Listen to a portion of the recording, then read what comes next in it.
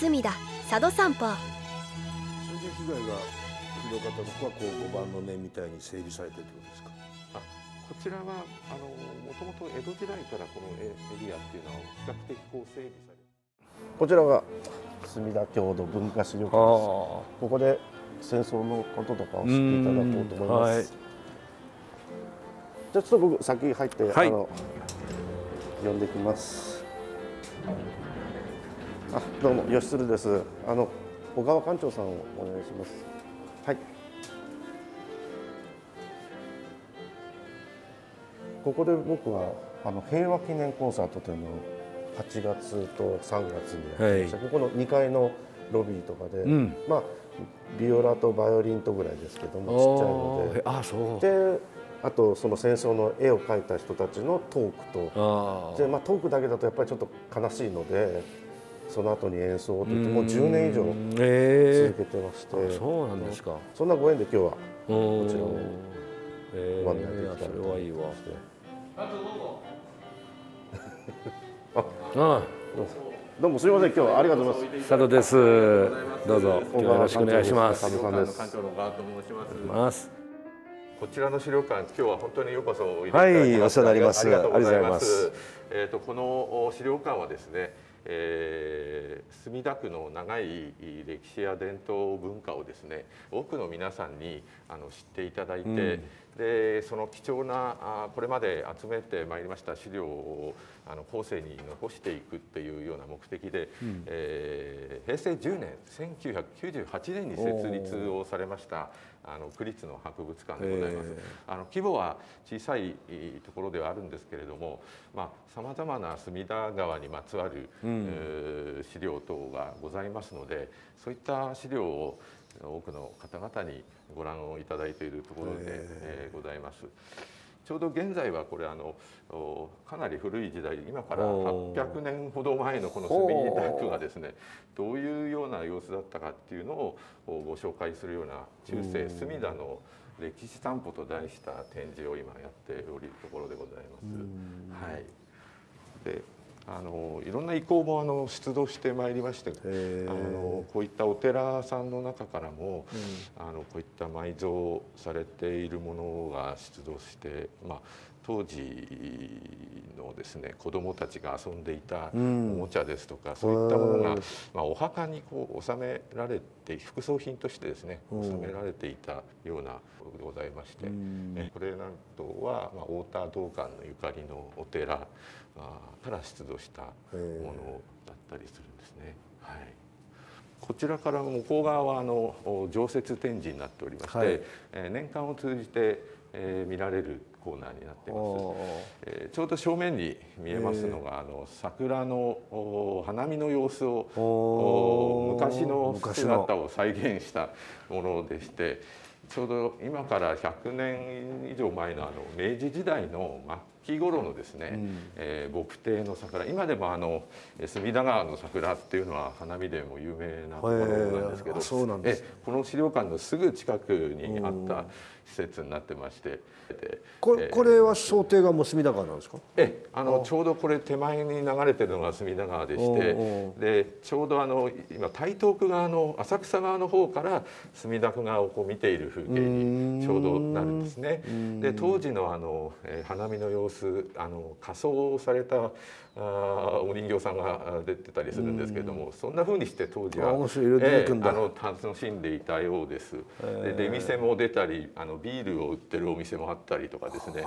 もう明治の末期ぐらいになるとおもうビールも庶民の人が飲めるようなあそうなんですか。ええなってたようです。あだからこれなんかはお子さんなんかもいつもあの、えー見るととて,、も楽しみながら、ええあの歴史を学べるっていうような、桜の名所なんですね。そうなんですね。へえええ。それは来ないとね。はい、で隣はまあこういったこの地域にゆかりの人々ということでここに今日構えたりした人たちあの、まあ、有名な方々正岡式とか幸田露伴とかそうですね、えーまあ、そういったあ文人の方々もここにかつて住んでいらっしゃったというような歴史がございます。はい。それからあのこちらの資料館の大きな特色としまして被災された方々にですね、うん、呼びかけをしてですね、うん、ご自身の体験の絵を、えー、あの描いていただいてでその絵がですね、えーまあ、こちらの展示室にあの年間を通じて展示させていただいているという次第でございます。身内の方を多く亡くされた方とかですね、えあの絵自体は本当にあの描いたことがないっていう方がほとんどなんですがあの本当にあの心を込めて当時を思い出してあの描いていただいた方々ばっかりです。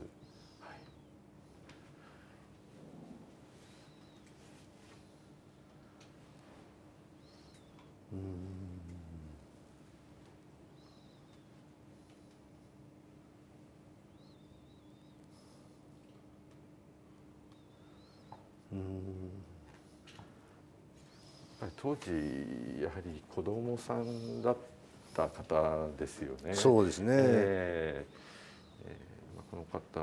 17歳、こちら14歳とか7歳とかですね。えー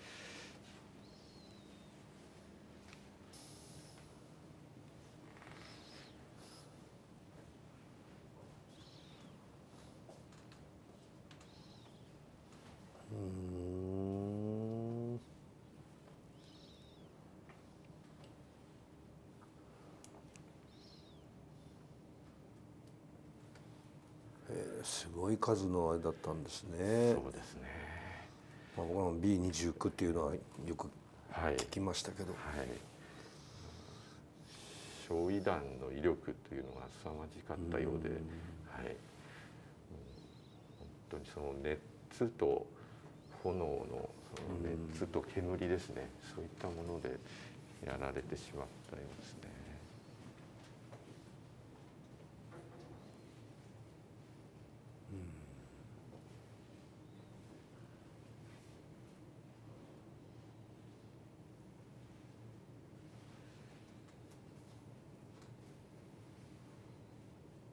であちらにあの、えー、墨田区全域の地図がございまして、はい、まあほとんどのエリア焼けてしまったんですが特にこの南のエリアがあのひどかったんですけれどもちょうどこのここに総武線が走っていまして、はい、ここが錦糸町駅ですね。ですので、えー、とトリフォニーホールが多分この辺りに、今あるかと思いますが、はい。もうこの錦糸町界隈両国界隈も本当に、えー、甚大な被害を受けています。それぞれの場所で体験された方の残された絵があのこういう形で、はい、描かれています。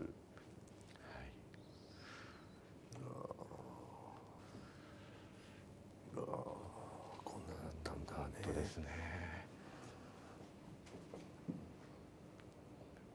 ちらなんとも、うん、あのみんななんていうんですか焦げた状態だったようですね。もう火の威力が強くてですね。はい。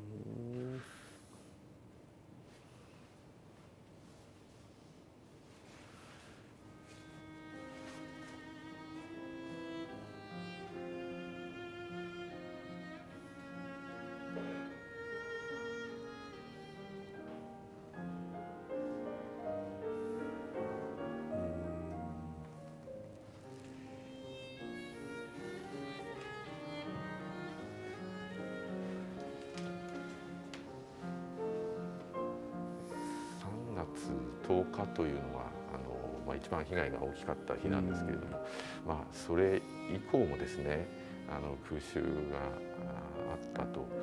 うことでで、まあ、下町この辺りだけじゃなくて山手側の方もその後空襲があったり。